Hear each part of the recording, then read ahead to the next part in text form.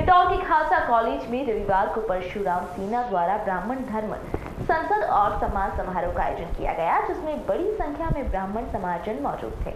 वहीं कांग्रेस प्रत्याशी पंकज संघवी पहुँचे, जहाँ कार्यकर्ताओं ने उनका भव्य स्वागत किया। इस आयोजन में इंदौर से लोकसभा प्रत्याशी पंकज संघवी भी पहुँचे। इस दौरान उन्होंने बताया कि ब्राह्मण समाज के युवा उनके मित्र हैं और बड़ों का आशीर्वाद लेने वे यहाँ पहुँचे थे।